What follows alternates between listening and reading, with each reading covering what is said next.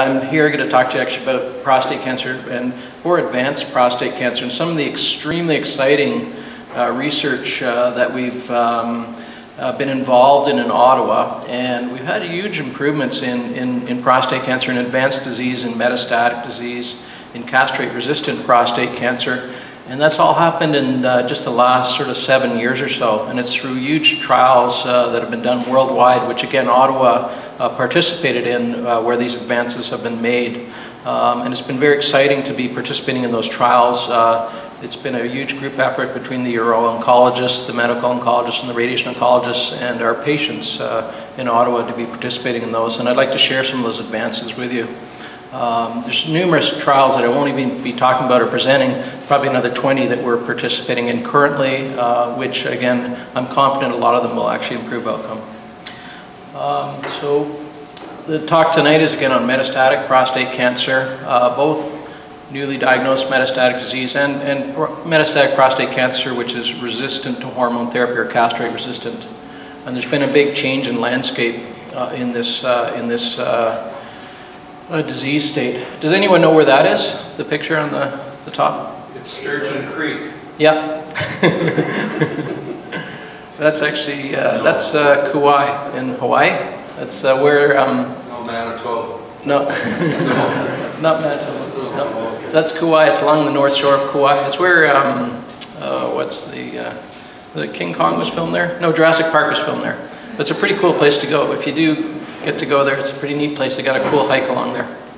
Trials in prostate cancer. I'm a huge believer in trials. Actually, probably roughly a third of patients in my practice run a clinical trial. I'm the biggest believer in trial, or biggest proponent of trials, I think, at the Cancer Center. trials are really critical for improving survival, advancing patient care, in some cases, again, reducing toxicities of treatment. Uh, they offer cutting-edge treatment to our patients in our region, and we are one of the top accruers in Canada on trials in the Ottawa, Ottawa region. I'm very proud of that, uh, that our trials department uh, has been very active in trials. And it also raises the bar for our whole hospital. Uh, we are able to attract excellent oncologists. As a result, we're able to train our residents and fellows so they can, again, go out to other centers and uh, participate in trials. And I think it's really key, uh, key to be able to be participating in trials. Um, so looking at metastatic prostate cancer, you've probably seen bone scans like the one on the right there. Um, so most time when prostate cancer metastasizes, it metastasizes to the bone. Um, standard of care for metastatic prostate cancer has been since the 1940s hormonal therapy, originally with surgical castration, uh, but then subsequently with LHRH therapy. Um, so these are medications that simply block testosterone. We know prostate cancer feeds off testosterone. It's like a nutrient for the cancer, causes it to grow and spread. And it's actually quite gratifying actually treating patients who have metastatic disease with hormone therapy because within a month the patients are often feeling much better. If they have bone pain, weight loss, uh, poor appetite, nausea, a lot of those symptoms get better fairly quickly when you start patients on hormonal therapy. Unfortunately, the hormone therapy cannot cure the prostate cancer. It'll get it in remission for a period, on average for about uh, two years. Um, some patients it responds as long, however, for five to even 10 years. About 10% of patients who have metastatic prostate cancer are still responding at 10 years. Um, so there's been a lot of effort in metastatic prostate cancer to look at novel new treatments then to improve outcome, improve response duration, and that's what this talk is going to be largely on. Um, average survival for people with metastatic disease is about three to four years, but there's a huge range, and there are prognostic factors to determine who will do better than others. Unfortunately, eventually the prostate cancers actually develop resistance to the standard hormone therapy. We call that castrate resistance. So you might have heard that term before, castrate-resistant prostate cancer.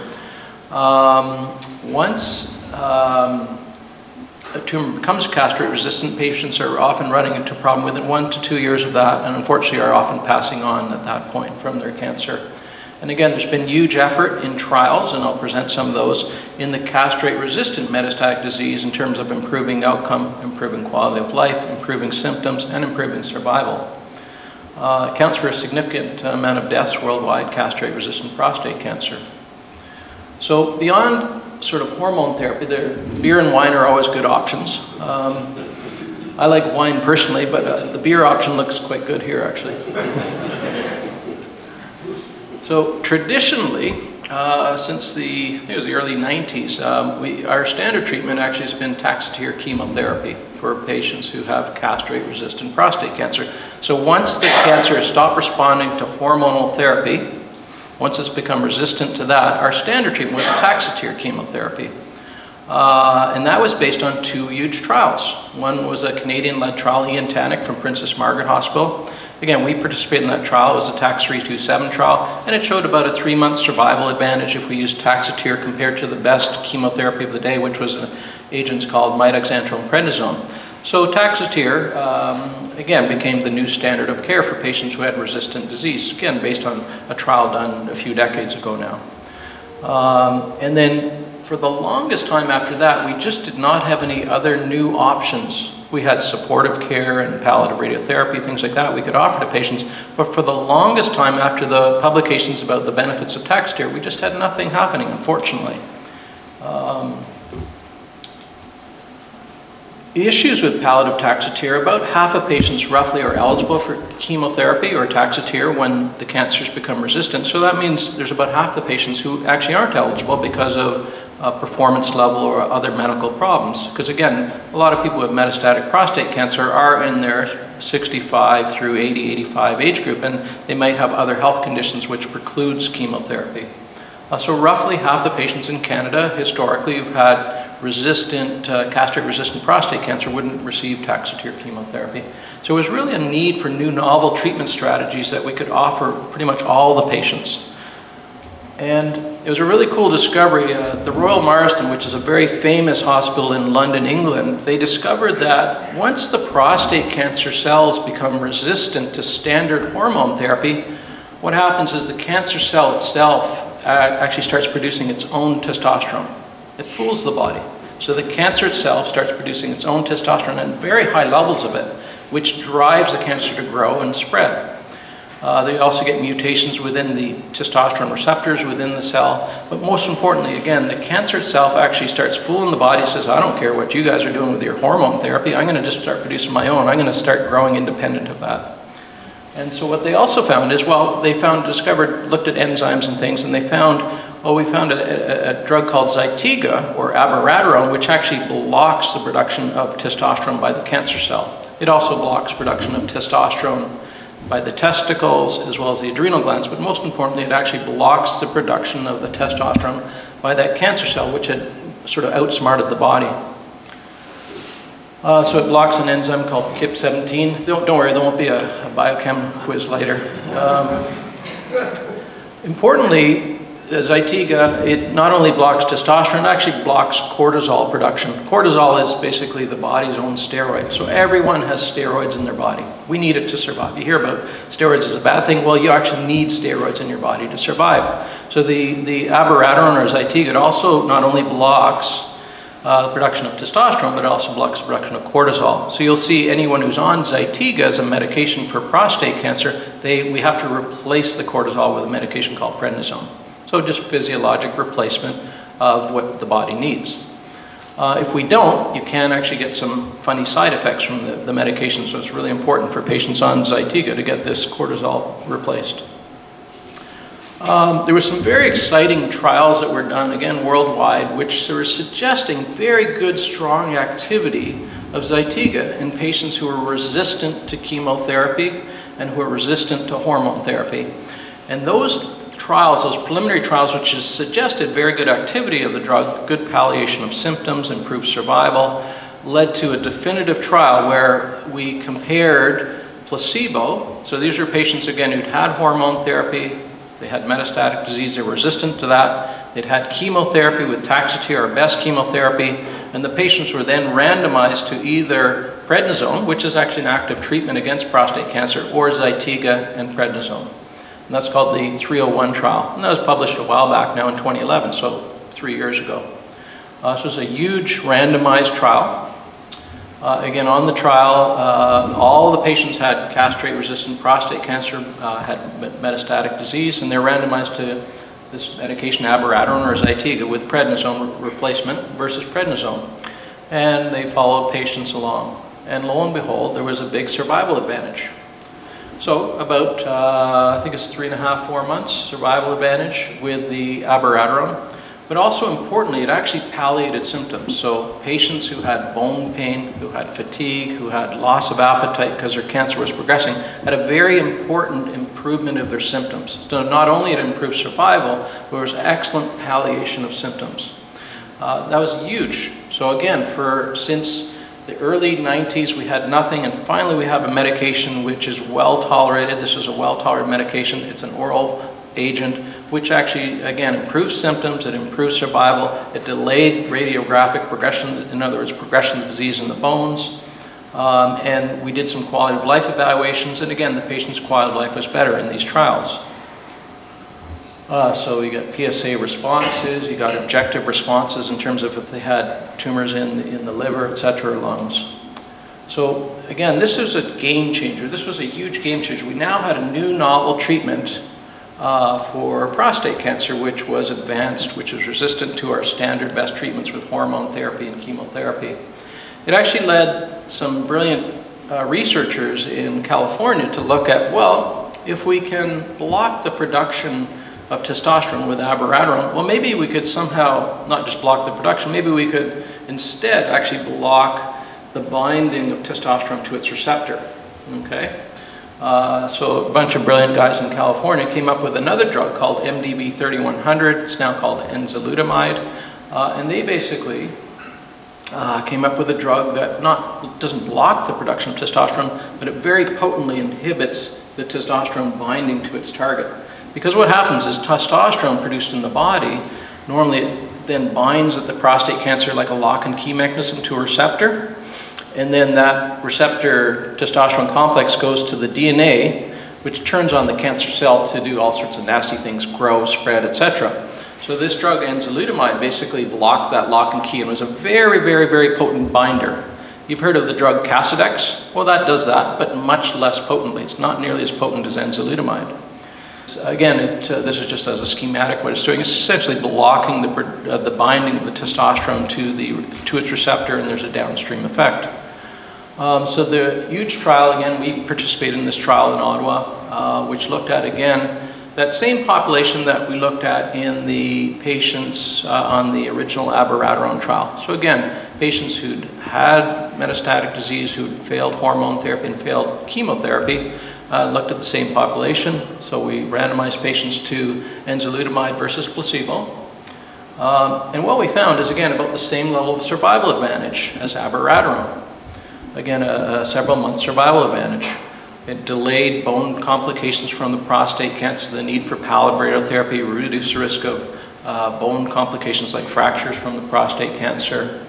Again, uh, delayed progression of the disease in the bone, uh, again, both the abiraterone and uh, enzalutamide, they're well-tolerated medications. Like compared to Taxotere chemotherapy or other drugs that we historically use for other cancers, these are extremely well-tolerated medications. There can be side effects, but again, in the trials, actually, the benefits in terms of improving quality of life and improving symptoms are typically far outweighed by side effects, which are relatively minor. So we did have this patient population who who failed standard hormone therapy who just can't get chemotherapy. So there's clearly a need for treatments for that patient population. And if these medications, these intensive hormone therapies, you, are useful once tumors become resistant to standard hormone therapy and have failed chemotherapy, well, it makes a lot of sense. Well, why don't we just use them earlier? Why wait till the patient has chemotherapy? Why don't we just use these more intensive hormone therapies, Zytiga and enzalutamide earlier? Once the tumor becomes resistant to the standard hormone therapy. Why, why give the patient chemotherapy when we have other much more effective uh, agents or better tolerated agents? So that led to two trials. One's called the 302 study, which is looking for, that was the first trial done, that was looking at the benefits of Zytiga in the pre-chemotherapy setting. And the other one's called Prevail, which is looking at, again, enzalutamide before chemotherapy is used. Um, so the 302 trial, this is again in patients with metastatic prostate cancer who are failing standard hormone therapy. We now have the mature results from that trial, the, the long-term survival results. Again, in the trial, uh, all the patients had to have uh, basically uh, castrate-resistant prostate cancer. they've had standard hormone therapy and progressing, they have metastatic disease, and they're randomized to prednisone versus uh, abiraterone and prednisone, or Zytiga and prednisone. Uh, what we found is that there was a doubling of the time to progression of the disease in the bones. Okay, so that's a really huge benefit in terms of uh, delaying symptoms. Uh, there was about, again, a, a, five, almost five month survival advantage, which is bigger than what we saw with chemotherapy. Originally, Taxotere improved survival by about three months. This is five months. It's better tolerated than Taxotere. Um, and there was dramatic delay in the radiographic progression of the disease. In other words, the cancer progressing in the bones. Again, very favorable safety profile. Some of the patients on this treatment, on average, are on it for about 18 months. But some patients are on it for two to up to five years. They're tolerating it well. So with long-term follow-up in this, this, this, intensified hormone therapy or novel hormone therapy, is a well-tolerated uh, medication. There, there can be side effects. It does need to be monitored by an expert oncologist or your, uro-oncologist. Uh, but it's, again, typically well-tolerated. In that 302 trial, the initial Zytiga trial in the pre-chemo space, uh, prior to chemotherapy, again, huge delay in terms of PSA progression, progression in the bones, delayed the need for palliative chemotherapy, de de delay in performance status decline, in other words, patients are functioning better longer term, delayed need for uh, requiring opiates or like ca uh, cancer uh, pain medications, narcotics.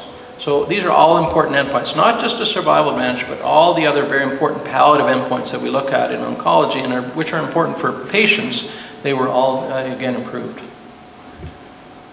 Um, so there's a, so they did this trial with uh, abiraterone. They also did it with enzalutamide, and that's called the Prevail trial. Uh, that was just presented this spring. We participated in Prevail as well in Ottawa. So our patients were on this trial and actually benefited from the Prevail trial.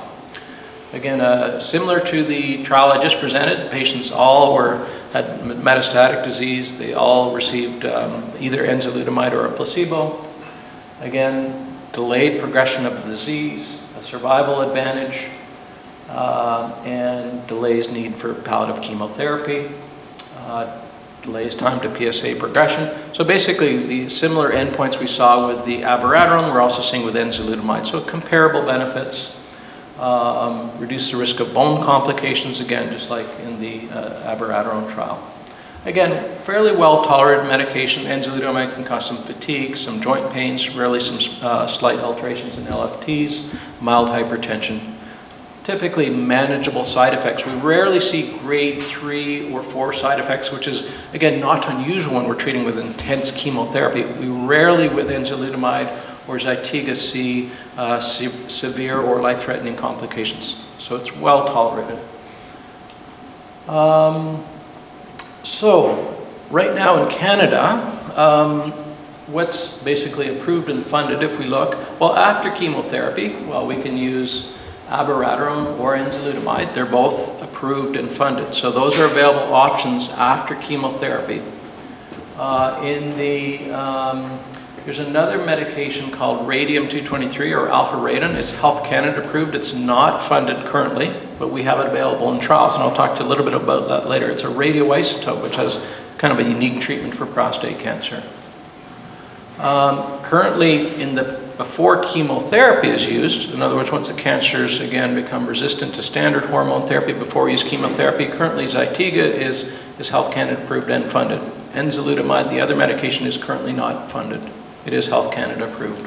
We are waiting for funding. So there's been pretty huge changes, again, in patients who are, have metastatic disease. Uh, we have now a series of options that we can use uh, both before and after chemotherapy.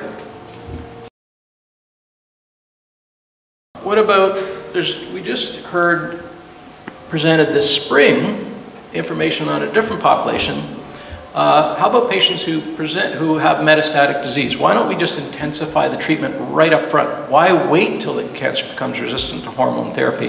Why don't we use some other more intensive treatments up front? Move the treatments earlier, maybe we'll have bigger survival advantage. Well, they did a trial, this was started a long time ago, it's called CHAARTED. And it was looking at, well, we know prostate cancers, once they become resistant to hormone therapy, they benefit from Taxotere chemotherapy, our best chemo. Well, why don't we use the Taxotere up front in patients who can take it? In other words, patients who are younger, good performance level, don't have significant health problems. Maybe if we intensify the treatment with hormone therapy and chemotherapy, we could improve survival. We do that a lot in other cancers, like in breast cancer. Standard treatment for most women with more advanced breast cancer is actually hormone therapy and chemotherapy, one of which, one of the agents which is quite effective is Taxotere in breast cancer. They're both hormone responsive diseases. They also respond well to Taxotere. So what we did is we did a trial called CHAARTED, which is looking at, well, maybe we can intensify that treatment for that patient. Don't wait for them to get resistance to hormone therapy. Let's use hormone therapy and add the Taxotere. Um, there's also a trial we've just completed. We don't have any data out of it. It's called Latitude, which is, well, rather than intensifying the treatment with the hormone therapy, let's use the Zytiga earlier. So we're using uh, standard hormone therapy with or without Zytiga. And that trial we just finished, we participated in it. I don't have any results from that one. But we do have results from CHAARTED, which are quite exciting. So CHAARTED was presented at ASCO this spring. ASCO is the biggest meeting of oncologists in the world. There's about, I don't know, 35,000 people who go to that. 35,000 oncologists from all over the world go to this meeting. Um, much more, uh, actually, oncologists than there are patients on the trial, interestingly. so in this trial, uh, again, this was patients who presented with metastatic disease. They've not been on hormone therapy, and they're treated with standard hormone therapy with or without the Taxotere. Huge survival advantage. This is huge. 44 months going up to 57 months. That's really a big survival advantage. Um, and when you looked at people with extensive metastatic disease, so they broke, broke down patients and people with minimal metastatic disease versus those with extensive metastatic disease. And those with extensive metastatic disease had an 18-month, a year and a half survival advantage by adding the chemo. That's huge. Again, they selected the patients. These were patients who were good performance level, didn't have significant liver disease, heart disease, etc., kidney disease, because you gotta have to, you want to be able to give treatment to patients who can take the treatment. Again, you got to be careful who you treat. But again, a huge survival advantage. Um, there was other important endpoints. Um, this trial hasn't actually been published yet. We will wait for all the mature results from it, like in terms of the actual published, when we get a publication, has been presented at ASCO. And actually, we are now treating some patients with this treatment, even though it's the data is so strong and it's from a very good cooperative group uh, that's run this trial, so we know the data is true. So we've actually changed our practice in Ottawa. Not everyone in Canada has. We, we looked at it as a group. We were very confident with the results, and we've actually just recently changed our practice. So we are offering this to, to some patients who have metastatic disease up front. The side effects, actually, again, because we were treating the appropriate patients on this trial, it was actually a well-tolerated treatment. Uh, very few uh, grade um, three or four side effects. The commonest side effects are effects on the blood count, so you do have to be careful of monitoring the blood counts. It involves six three, Q3 weekly cycles of the Taxotere. Um, so I think, again, hopefully we're going to get that actually as a published thing soon, and I think it's going to, again, be just a complete shift in treatment paradigm for patients who present with metastatic disease who have metastatic prostate cancer. Again, a new, new treatment. We're just moving the treatments up front earlier, and this will improve, improves outcome. Um, so another treatment uh, trial that we participated, we were the lead accruer in this in Canada, was a, looking at a novel radioisotope. Uh, again, this is for people with metastatic prostate cancer, so people with bone metastases. This is not an appropriate treatment if you have lung or, or liver metastases. It's not going to have any impact on that. Radium-223, this radioisotope, uh, basically it lodges in act, uh, where there's sites of active bone metastases.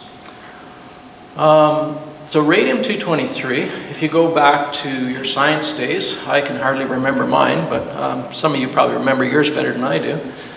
It's in the same line in the periodic table as calcium. So calcium we know goes to the bone, it gets laid down in the bone it's, uh, to solidify the bone. Radium basically is in the same line, so it basically localizes or lodges wherever there's any cancer cells within the bone where there's active bone turnover. So it lo localizes there.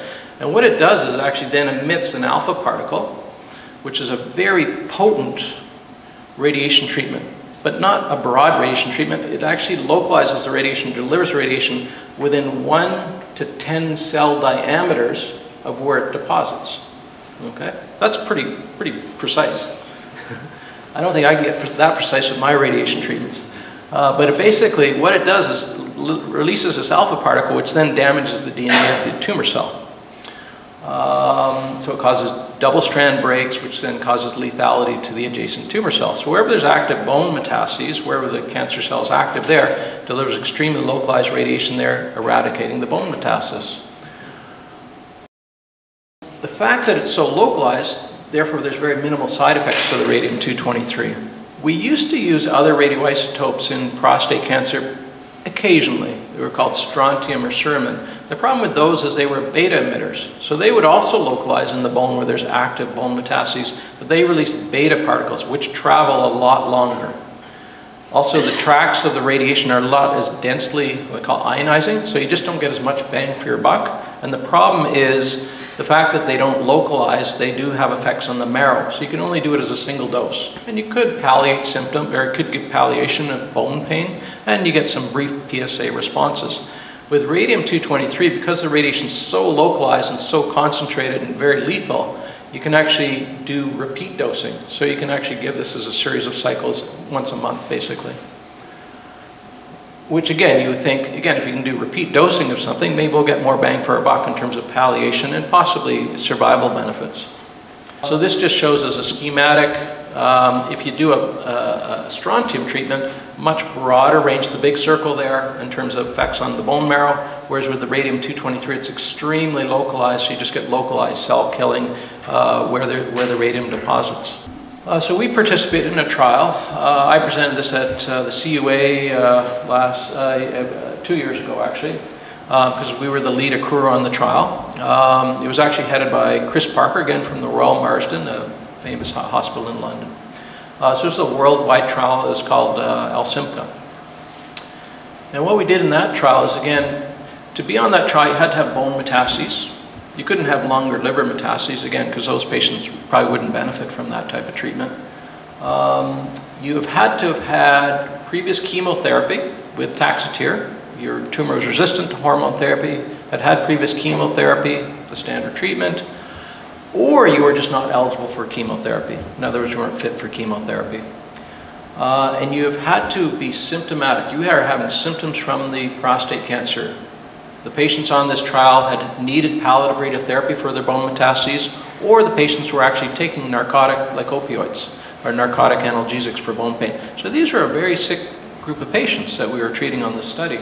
So they'd had previous hormone therapy, previous chemotherapy, and they had lots of bone pain.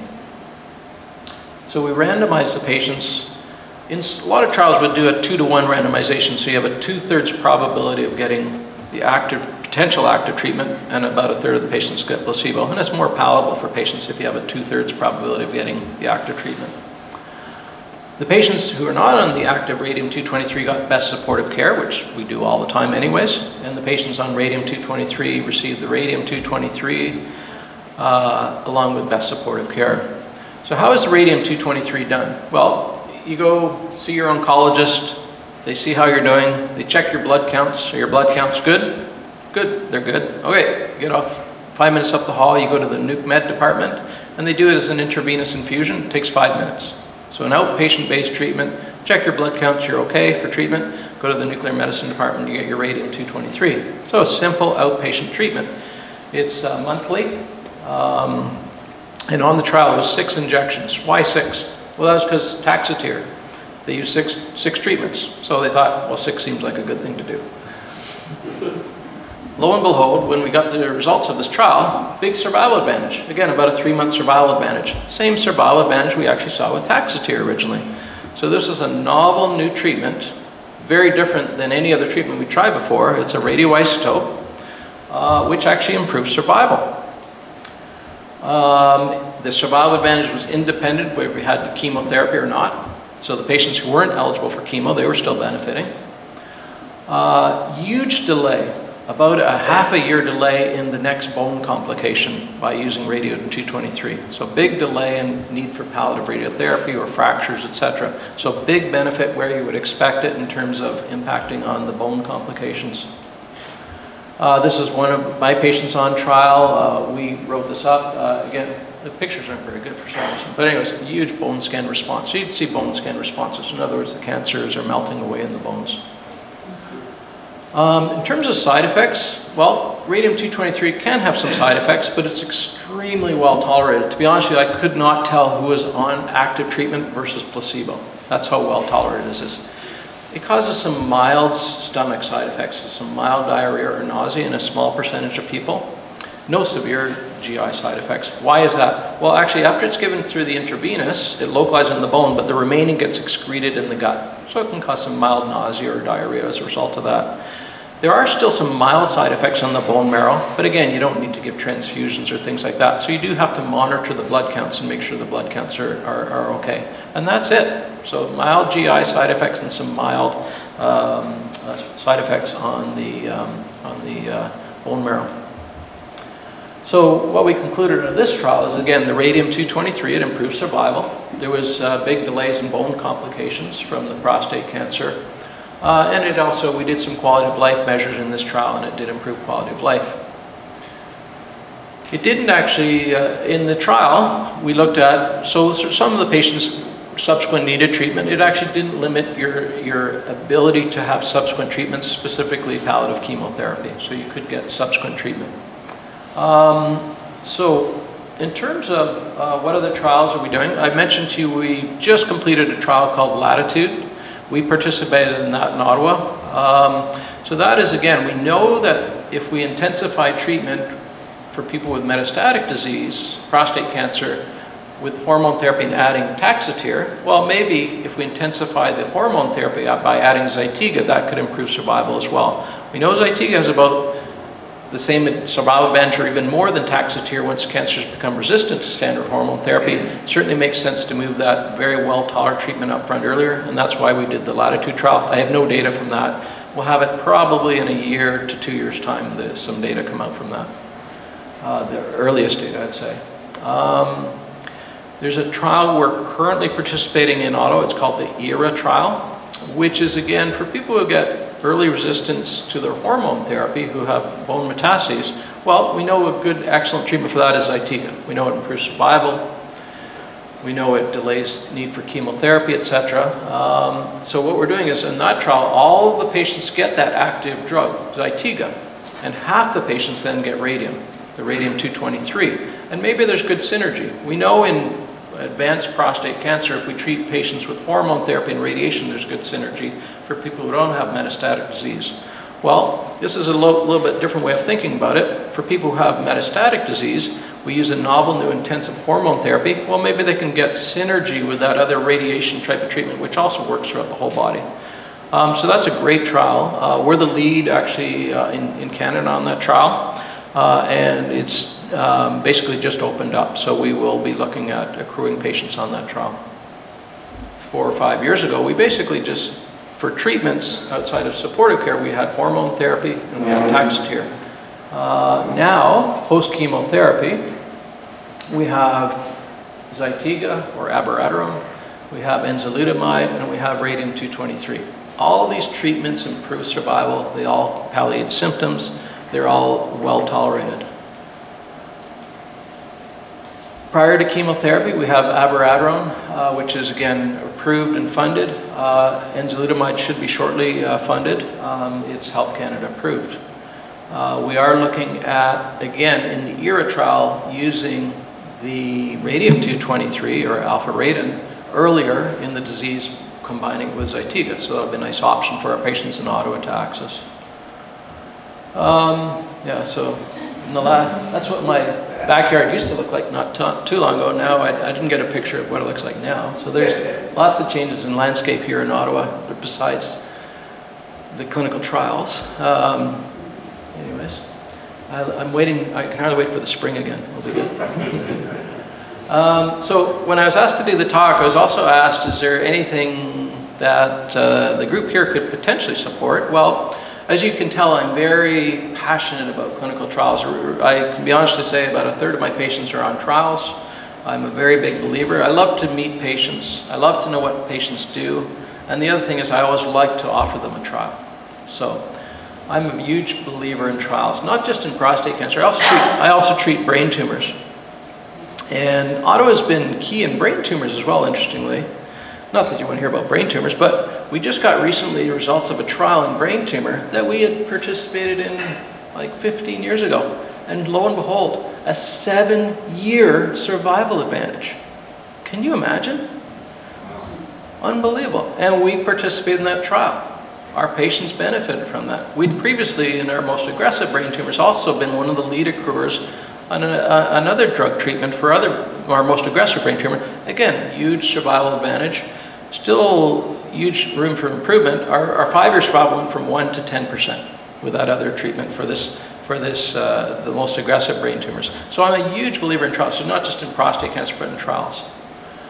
Uh, so, trials are really critical for advancing patient care in all cancers. Certainly in prostate cancer, in the last seven to 10 years, we've seen huge advances for prostate cancer. There's so many other trials I haven't even mentioned in earlier stage disease where we've seen improved outcomes in terms of less side effects, optimizing survival as well for high-risk disease as well beyond, before metastatic disease.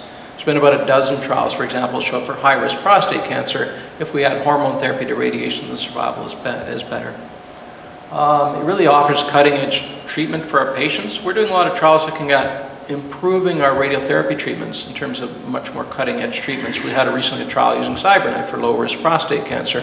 We participated, we were one of the top crewers in Canada on that. Um, believe it or not, our, our, trials office, however, is actually in a significant deficit. Uh, about seven years ago or so, we almost had to shut our whole trials office down. We're, we're a million dollars in deficit. Fortunately, through community fundraising, we, we actually cleared that deficit.